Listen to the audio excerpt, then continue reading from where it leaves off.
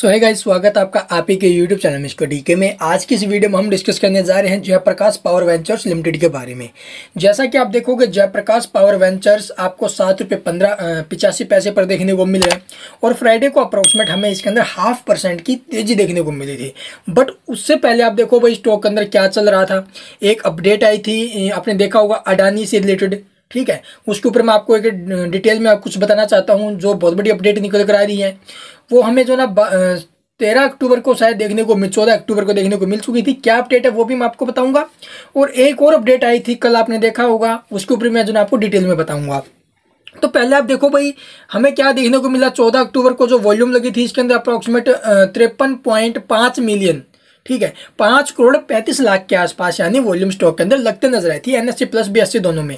और पाँच हज़ार अस्सी करोड़ की डेट वाली कंपनी मार्केट कैप वाली कंपनी है कंपनी के ऊपर आपने देखा, वो डेट थोड़ा ज़्यादा है। ठीक है तो JP Prakash JP JP group की कितनी भी कंपनियाँ, Jaiprakash power venture, Jaiprakash associates limited तो आप देखोगे एक अपडेट आती हुई नज़र आई थी कुछ टाइम पहले अडानी से रिलेटेड कि अडानी जी है ना, इनकी जो एक सीमेंट यूनिट है मध्य प्रदेश के अंदर, उसको पाँच हज़ार करोड़ रुपये में खरीदने जा रहा है। आपने ये न्यूज़ तो सुनी होगी चलिए वो भी मैं आपको दिखा देता हूँ आखिरकार वो।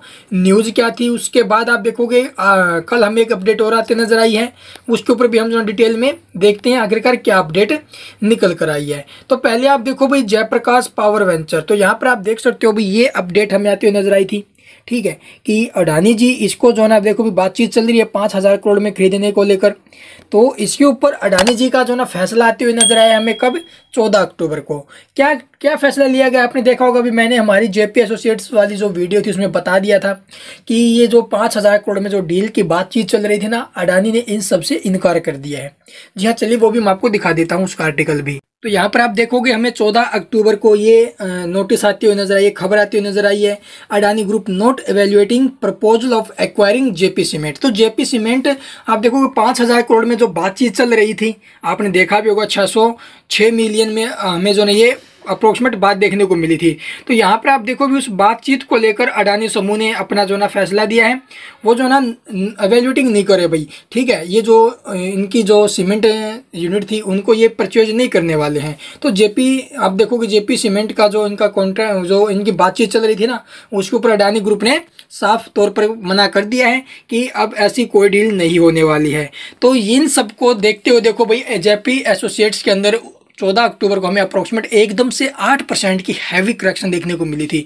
जैसी ये न्यूज़ आई न्यूज़ आती आप देखोगे जेपी एसोसिएट्स हमें एकदम से टूटते हुए नज़र आया। सेलर बहुत ज़्यादा हो गए थे ये न्यूज़ आते ही तो जिसकी वजह से स्टॉक आपको टूटते हुए नज़र आए। उसके साथ साथ आप देखोगे भाई, हमें जयप्रकाश पावर वेंचर के अंदर कुछ भी हलचल होते नज़र नहीं आई है, लेकिन जयप्रकाश पावर वेंचर से रिलेटेड भी एक न्यूज़ हमें देखने को मिली है। तो हो सकता है मंडे को स्टॉक के अंदर हमें थोड़ी बहुत गिरावट देखने को मिल सके, ठीक है? तो चलिए अब हम देखते हैं हमारे जो सेकंड अपडेट आई है, वो क्या आई है।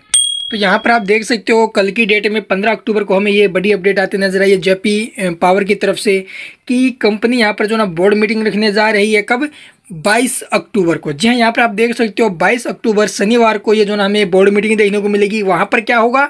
यहाँ पर देखो inter to consider and approve unaudited standalone and consolidated financial results जी हाँ यहाँ पर आप देख सकते हो in the company for the quarter and half year ended thirty सितंबर। तो यहाँ पर आप देख सकते हो भाई, ये जो कंपनी अपने 22 अक्टूबर को रिज़ल्ट जारी करने जा रही है, कंपनी जो ना अपने रिजल्ट्स की जो डेट थी वो डिक्लेयर कर दी है।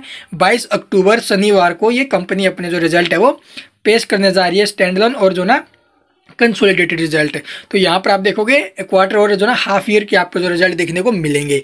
आई थिंक आपको वीडियो पसंद आई होगी, ये दो इन्फॉर्मेशन आपको कैसी लगी कमेंट सेक्शन में ज़रूर बताना। और उसके साथ साथ आप देखो भाई कल की अगर मैं बात करूँ स्टॉक के अंदर क्या हलचल हो सकती है, देखो भाई, ये जो अडानी ग्रुप वाली न्यूज़ आई है, बहुत बड़ी न्यूज़ आई है, ठीक है? तो इसका इफ़ेक्ट हमें जो ना, कहीं हद तक स्टॉक के ऊपर पड़ते देखने को मिल सकता है, और स्टॉक आपको जो है थोड़ा बहुत डाउनफॉल होते हुए नज़र आ सकता है। जी हाँ थोड़ी बहुत फॉलिंग आ सकती है स्टॉक के अंदर। और बाकी देखते भी, बाज़ार का क्या मूड रहता है मार्केट हमें क्या कुछ सिखाती है कल के दिन, क्या देखने को मिलता है मार्केट के अंदर। ठीक है ग्लोबल मार्केट की हम बात करें तो ग्लोबल मार्केट है, में जो देखो भाई, जैसे अमेरिकन मार्केट हो गया, काफ़ी ज़्यादा टूटा था फ्राइडे को, ठीक है तो उसके बिहेवियर हम मार्केट के बारे में बात करें तो मार्केट के अंदर भी करेक्शन के संकेत थोड़े बढ़ रहे हैं। ठीक है एग्जिस्ट निफ्टी भी हमें जो डाउन की तरफ़ भागते हुए नज़र आया था। तो भारतीय बाज़ार आप देखोगे भाई, हमें जो ना अप ट्रेंड में क्लोजिंग लेते हुए नज़र आए हैं। चलो देखते हैं कल क्या होता आगे घर and thank you for watching the video